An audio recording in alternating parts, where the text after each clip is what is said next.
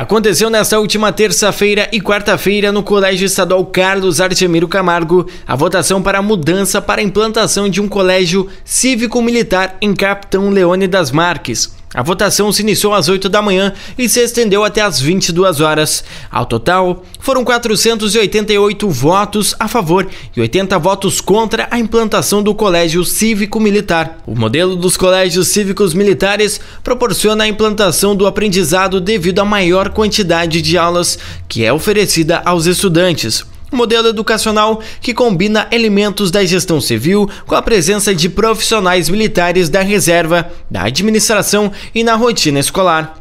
A diretora do Colégio Estadual Carlos Argemiro Camargo, Cristina Magna Bosco, falou sobre esses dias de votação e explicou como serão os próximos procedimentos. É, finalizamos o processo da consulta pública e é, finalizou com 488 votos favoráveis e 80 votos não.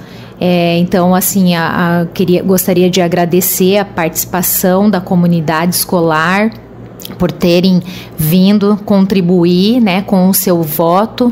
E desse modo nós conseguimos atingir o quórum e, e realizar essa consulta tão importante aqui para nossa escola. É o direito à, à opção, né? A democracia é isso.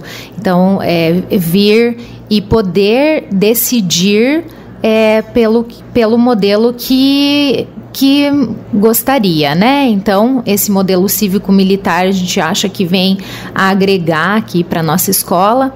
É, dizer também que é apenas o início do processo, né? A consulta pública. Então, a partir de agora, é, continua o processo. Esses votos eles precisam de aprovação da CED, né? Da Secretaria de Educação. Então, é, irá passar por eles e, e aí dá continuidade aí no, no processo de implementação desse modelo aqui na nossa escola. Então agora, como eu falei, é, os trâmites irão continuar e a, a partir do ano que vem o modelo já será implantado. E os pais não precisam ficar preocupados, que vocês vão alertando quanto às mudanças que vão vir no próximo ano, quanto à questão da implantação desse modelo cívico-militar.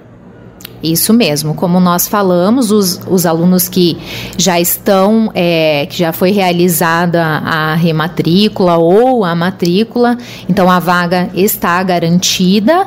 E quanto às mudanças, sim, a comunidade será avisada, será chamada é, é, e comunicado tudo que todo o processo como irá acontecer. Agradecer de coração a toda a comunidade e é a prova, é, o resultado é a prova de que a comunidade está sim interessada na melhoria da, né, na melhoria e na educação dos seus filhos. Então agradeço de coração por terem vindo participar e dar a sua contribuição com o voto. Com informações para o Jornal da Interativa, repórter Gabriel Quevedo.